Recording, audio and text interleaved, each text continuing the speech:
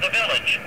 King Company reports four tankettes and at least two medium tanks Type 9 or 7 proceeding west toward Quiju.